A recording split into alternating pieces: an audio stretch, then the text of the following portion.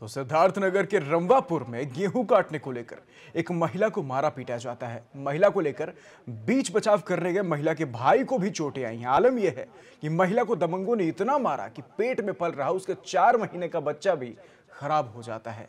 इस घटना में महिला को मारने पीटने वालों में महिला के पति समेत छह लोगों पर महिला और उसके भाई ने आरोप लगाया है। वहीं मामले में पीड़िता ने चिल्हा थाना में तहरीर भी दी है और पुलिस द्वारा मामले की जाँच की जा रही है लेकिन अभी तक मुकदमा दर्ज नहीं होने की भी बात कही जा रही। है वहीं महिला ने मीडिया के सामने आकर अपनी पूरी बात कही है और इंसाफ की गुहार लगाई है।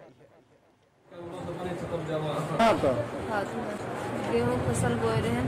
हम्म, पाँच बीघा हम रख लिए रहे पाँच पाँच हिस्सा मिला रहा हम्म, ज़बरदस्ती कटवा लगे।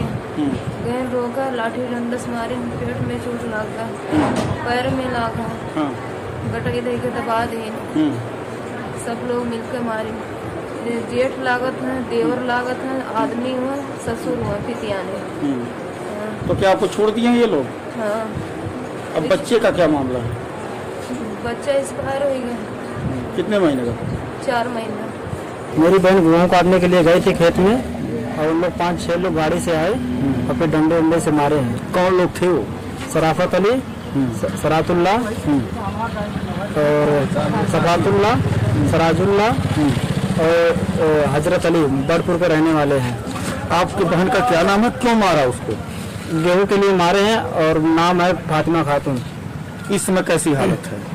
इस समय तो ठीक है दवा चालू हो गया है लेकिन दो तीन दिन से नहीं चालू हुआ था। और बच्चे का क्या मामला? है बच्चा तो खराब हो गया। वही तो डंडे से मारे उन लोग पेट में, और लड़का खराब हो गया।